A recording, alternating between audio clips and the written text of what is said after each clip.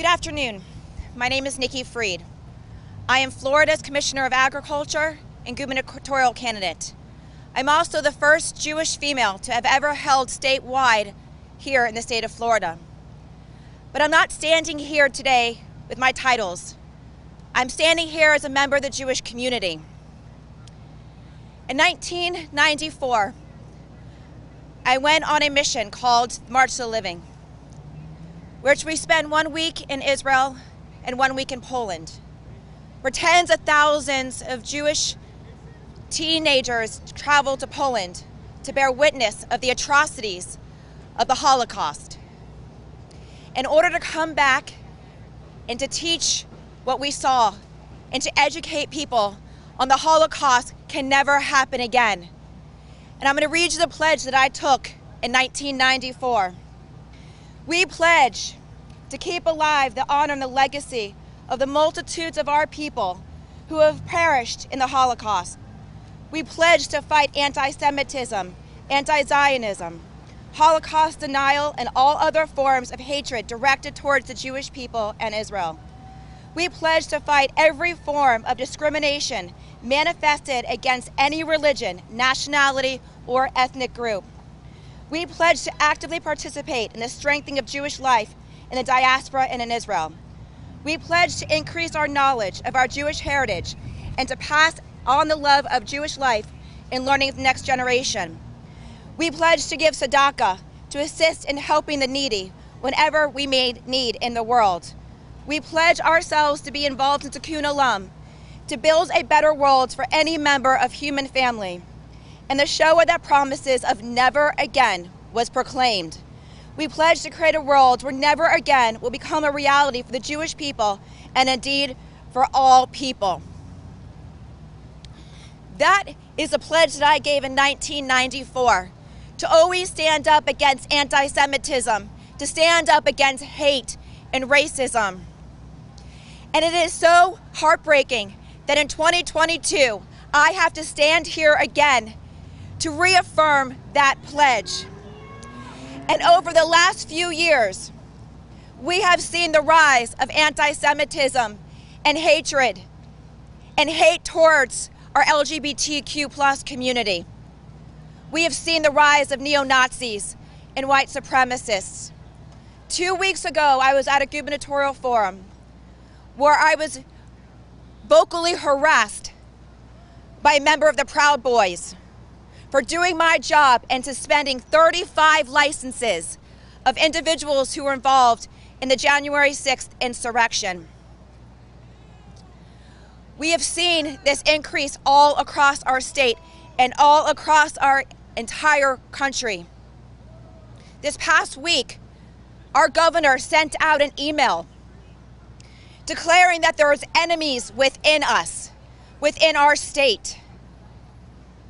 Ron is asking for a war when he is declaring that there is enemies here. We must come together and unite. We should be fighting for democracy, not fighting our fellow man and our fellow countryman. In the words of Abraham Lincoln, with malice towards none, with charity for all. The fact that yesterday neo Nazis were here at this convention center in Tampa, Florida, talking hate, holding neo Nazi flags with swastikas. We have seen all across our state neo Nazis protesting in Orlando, sending rhetoric, hate rhetoric, and flyers all across South Florida. We are seeing swastikas painted on garage doors of homes in Fort Lauderdale and on temples and Holocaust museums. Our country is divided. We as leaders must come together and push down that hate. We may all disagree on policies, but if we as leaders don't denounce neo Nazis and white supremacists in our state and our country, what are we doing here? So, to every neo Nazi that stood on these streets yesterday, the cowards that put masks on their face and flung the, the flag for the Nazis, we will not tolerate this. We will not stand silent You will not silence our voices. We will not go away. We will speak louder. We will organize. We will make sure that your hate speech will not be heard. Now, I am asking for every elected official. I don't care if you're Republican, I don't care if you're a Democrat, I don't care if you're independent. This is a time to say no. We are not going to stand for hate and anti Semitism and racism. And so I am asking you, Ron DeSantis, to denounce the Nazis that were here, here to celebrate your speech inside of this convention center. They were holding your pictures yesterday. These are the individuals that we need to make sure are not here in the state of Florida. So, Ron, you are the leader of 22 million individuals, the third largest Jewish population in the country. We need to stand united. This is not a Democrat or Republican issue. This is a human issue. I will never be silent, and neither should you. Thank you for being here today. We will never stand silent. We will speak up.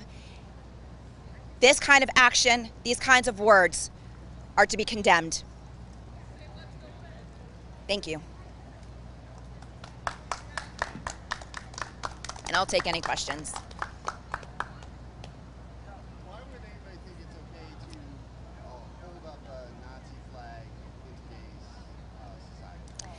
Why are they think it's acceptable? Because you're not hearing from leaders. You're not hearing from, from, from Ron DeSantis or Donald Trump saying this is unacceptable. And so they feel like they've created a, a safe harbor for them here in our state. And the fact is, they were outside here yesterday when Ron and Trump and others of the radical right were talking. Where are our leaders today? Where are they saying that this is not okay? And when you stand silent and you say nothing, it emboldens and empowers them, which is why I'm here today, standing up for what we believe in. Listen, we're Americans. We have to fight for America, for our democracy, not our fellow man. And this type of hate speech has to be condemned by all leaders in our country. And for those in the Jewish community that I've spoken to are just kind of sickened by just, the, just seeing the photos. You know, how does it make you feel when, like, you saw the photos? What it made me feel yesterday, and not just yesterday, we are seeing it in South Florida, we are seeing it in Clermont, we saw the neo Nazi flags in Orlando outside of Disney. And it's time for everybody, everybody, regardless if you're Jewish or you're Muslim or you're Christian or any other religion, for us to come together. And so, what this does to me personally, because this has been a fight that I have been enduring my entire life and trained for this moment, is that I knew I couldn't stand by silent that I had to be here today to condemn this, to make sure that the Floridians know that there's somebody who's going to always stand up for them, who is always going to fight this anti Semitism, the white supremacy that is starting to creep through our government and the people of our state, and we cannot tolerate that. Nikki, what do you say to the people the last day to register to vote for the Florida primaries? So, what do you say to people? Listen, we are at trying times in our country and in our state. And if you want to make a difference, if you want to make sure this type of hatred ends, then we need people to register. Register to vote. Um, we have closed primaries here in Florida, so it means if you are an independent, you cannot vote in our primaries. So if you have inclined to go and vote for a Democrat or Republican, make sure by tomorrow evening that you are registered to vote and that you've declared a party. It's important no matter what party you are, right? That is correct. Voting is the, the crux of who we are as a democracy. It needs to be protected, it needs to be celebrated, it needs to be encouraged, and that's what I will continue to do. Okay. Thank you. Thank you, everyone.